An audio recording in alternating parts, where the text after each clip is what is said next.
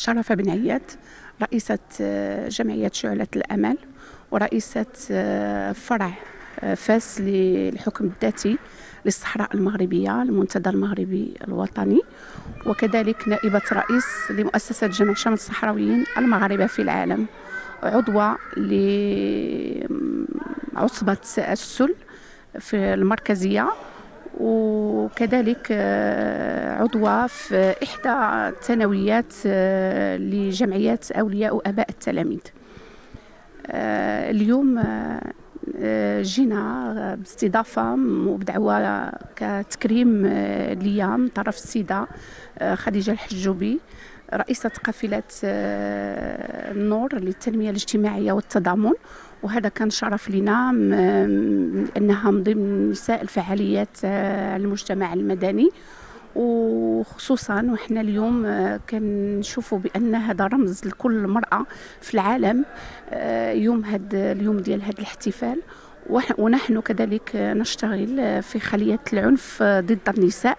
فهذا كيحفزنا دائما باش نكونوا متواجدين دائما في الاحتفالات الكبرى التي تقوم بها جميع الجمعيات المتميزة. وكذلك آه، من هذا المنبر كنحيي آه، عمدة مدينة فاس آه، على الحضور ديالو التفاعل ديالو مع المرأة. وتكريم المرأة وكذلك السيد الكاتب العام للخلية وكذلك السيدة وكيلة الملك السيدة رشيدة المحكمة التجارية.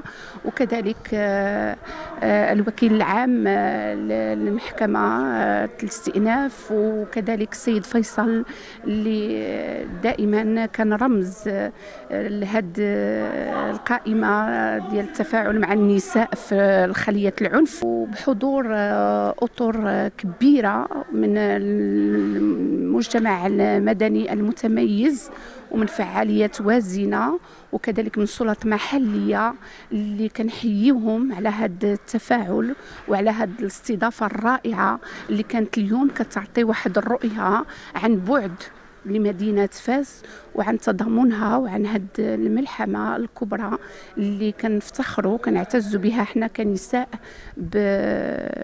بجمعية المجتمع المدني. دائما كنوجه الشكر للملك محمد السادس نصره الله وأيده لدعمه للمجتمع المدني وطال الله في العمر ديالو وجعله مفخرة لهذا الوطن الحبيب دائما تماشيا مع السياسة الرائعة لصاحب الجلالة للنهوض بالمرأة وللنهوض بكل ما يحث على آه، توليج آه، البرامج الأفقية اللي كتفاعل فيها المرأة. والشكر موصول لكل امرأة كانت بالحضور ديال يوم العالمي ديال 8 مارس فدائما كنحييوهم وتنقول لهم يدنا في يديهم باش نزيد يزيدوا إن شاء الله القدام ويدنا في يديهم بالمجتمع المدني وعلى رأسه كالفعاليات النسائية التي تحفز دائما إلى النجاح. قادمين وسائرين دائما نحو طريق النجاح.